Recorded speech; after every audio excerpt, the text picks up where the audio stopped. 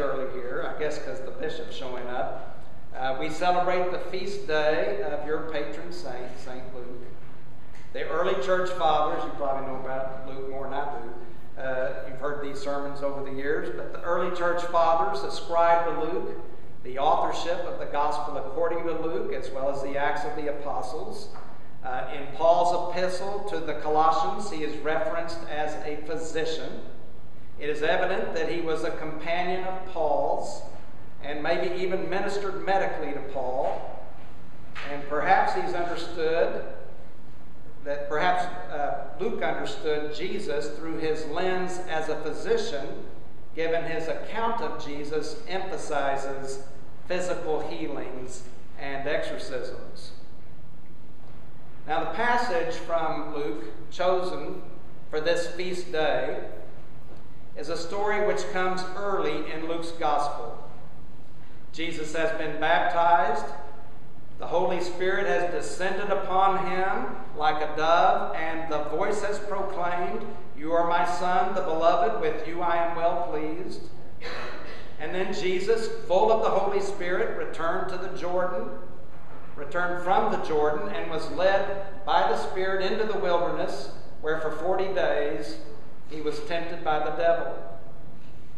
And then, beginning in today's passage, Jesus, filled again with the power of the Spirit, returns to Galilee. A report about Jesus spreads throughout all the surrounding country, so he's gaining a reputation already. He begins to teach in synagogues and he's praised by everyone. Then he comes to his childhood home of Nazareth, goes to the synagogue on the Sabbath, stands up to read from the scroll the following from the prophet Isaiah The Spirit of the Lord is upon me, because he has anointed me to bring good news to the poor. He has sent me to proclaim release to the captives and recovery of sight to the blind, to let the oppressed go free, to proclaim the year of the Lord's favor. Jesus rolls up the scroll, gives it back to the attendant, and sits down. All eyes in the synagogue are fixed on him. And then, instead of saying, Here ends the reading, Jesus says, Today this scripture has been fulfilled in your hearing. And that's where the story ends today, but if we keep reading, things go downhill from there. Everyone gathered starts praising the hometown boy, and they begin to imagine what the hometown boy can do for them. After all, he is Joseph's son. And to make a long story short, Jesus informs them that his mission extends beyond the hometown. And they don't understand what he just read to them anyway. And besides, no prophet is accepted in the prophet's hometown. And in a rage, they get up and drive him out of town.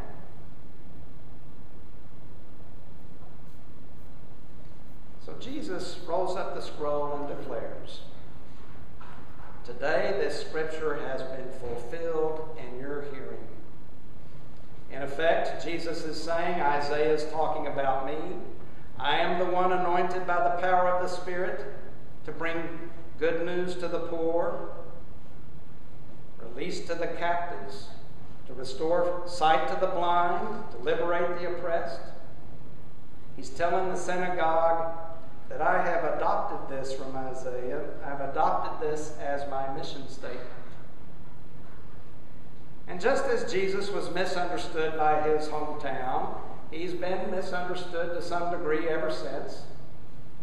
And even on our clearest days, we, like the hometown crowd, maybe not as bad, but maybe to some degree, like the hometown crowd, and even like Luke, tend to see Jesus through our own lens the lens of our own experience, which, if we are honest and a little bit humble, may not be a total understanding. And I dare say that's why there are four Gospels. And we do know that Jesus was anointed for a purpose. which extends far beyond the time and place and culture of his historical setting. And we believe that when Jesus brings good news to the poor, it goes beyond the financially poor literally. There are other ways of being poor. We know that when Jesus proclaims release to the captives, it goes beyond those locked in prison literally. We can be held captive in ways, excuse me, in ways other than behind the bars of a prison cell. We know that when Jesus proclaims recovery of sight to the blind, it means something in addition to physical blindness. We all have blinders that prevent us from seeing. When Jesus says that he's been anointed to liberate the oppressed, we know that oppression takes on forms beyond a particular political or economic system. The proclamation of good news exceeds the poor literally, the captives literally, the blind literally, the oppressed literally, and we know that because we've experienced the good news in ways beyond those literal possibilities. And yet, I would suggest Jesus means every word of it, literally. The poor, the captive, the blind, the oppressed, literally. Not limited to the literal, but certainly the literal. As our presiding Bishop Michael Curry reminds us, this brother didn't come into the world to leave it the way he found it. He came to change it. And today I would add to that literally. Now maybe we can make the biblical literalists happy today because we're talking, taking something in the Bible literally, right? Our presiding bishop says, Jesus came to change this world.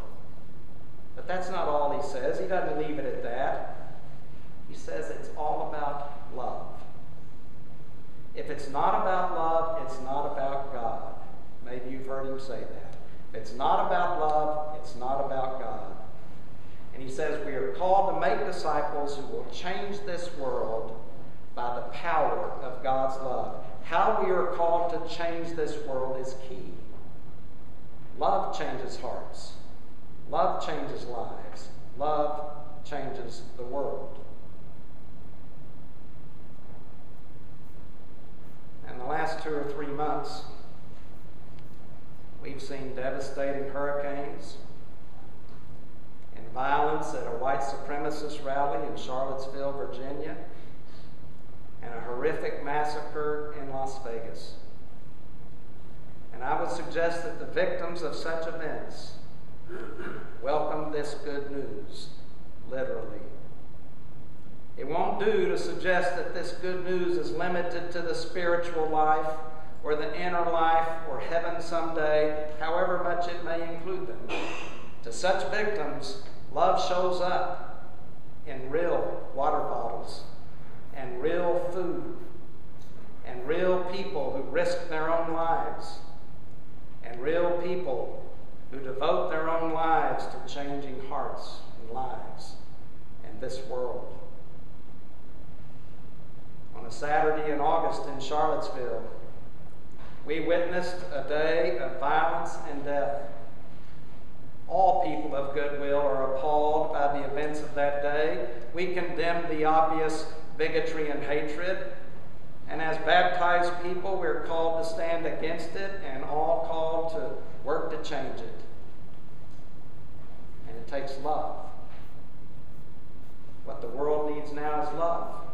That's all. It's going to take love to do the work of racial re- reconciliation in this country. And we're going to need to talk about it. We may have to have some living room conversations about it. And my appeal to all of us today, and believe me, the preacher is preaching to the preacher here. My appeal to all of us is to believe in the power of God's love to trust that God's love has the power to change lives, to have faith in the power of God's love to reconcile people to God and one another and to our truest, best selves, and to believe that the love of God can change anybody. Now, the horrific images of what happened in Charlottesville may challenge our faith in the power of God's love to change those hardened by hate. So I'm going to tell a story.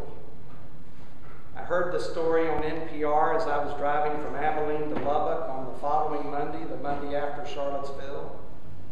And I know that I personally found it timely to hear this story of hope. It was an interview with a young man who once led a hate group called the Chicago Area Skinheads. His name is Christian Picciolini, and he now runs an organization called Life After Hate. Life After Hate helps people leave hate groups, particularly white supremacy groups, and hundreds of lives have been changed in the last six years through this group.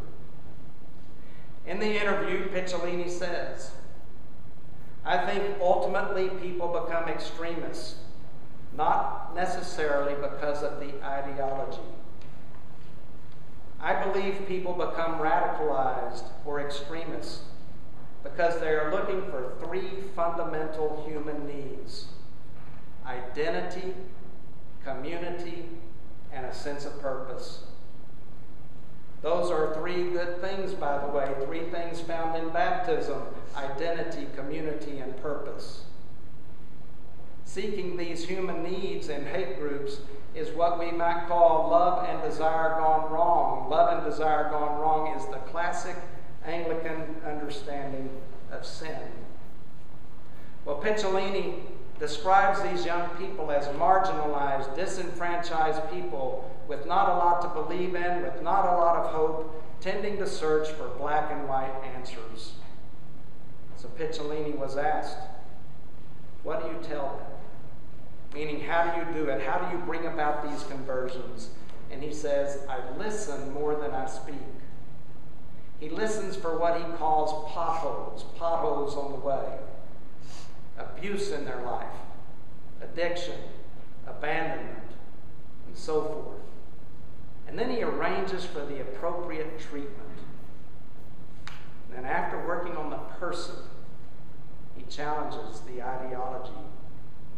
And he does that by immersing them in situations which challenge their narrative. If a person is anti Semitic and hates Jews, he might pair them with the Holocaust survivor. If a person has been making attacks on mosques, he pairs them with an imam.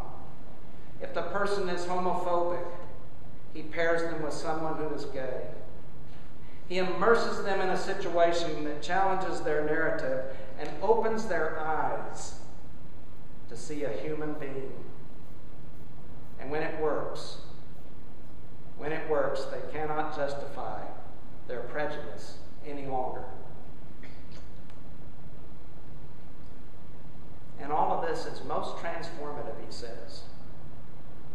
It's most transformative when they receive compassion from people they least deserve it from, when they least deserve it. That's the most transformative process. And it's the one experienced by Christian Picciolini himself. What a great story about the power of love. What a great story about the power of the Spirit. Receiving compassion and love from someone, as he puts it, from someone we least deserve it from, when we least deserve it, will change lives, as it has for 2,000 years. From the cross, Jesus says, Father, forgive them for they don't know what they're doing. From the cross, the love of God is revealed in undeserved forgiveness and unmerited grace and unconditional love. Literally. It's the same love which has the power change hearts and lives in this world. It's the same love that appealed to a, a physician named Luke and inspired him to write about the healing love of Jesus. It's the same love that people have experienced from you in this community. People named St. Luke. It's the same love that all baptized people are called to proclaim and embody. In the name of the Holy Trinity, one God in whom we live and move and have our being.